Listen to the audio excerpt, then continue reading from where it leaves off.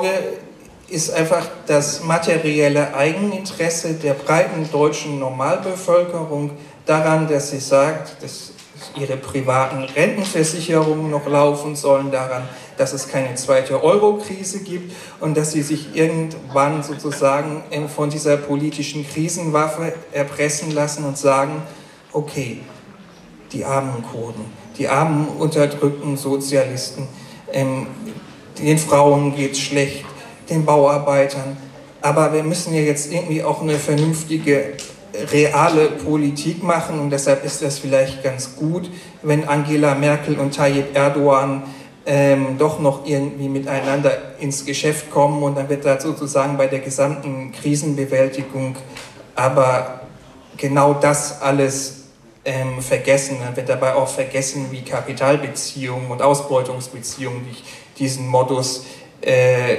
der Krisenbearbeitung gestärkt werden. Ich glaube, das ist auch so ein bisschen Sinn dieser Veranstaltung, genau auf dieses Problem hinzuweisen und daher auch äh, so viel darüber, was die Eliten hier miteinander machen. Einfach deshalb, weil es ist in weiten Teilen der Bevölkerung unbekannt und es beeinflusst aber einfach auch das Leben der Subalternen.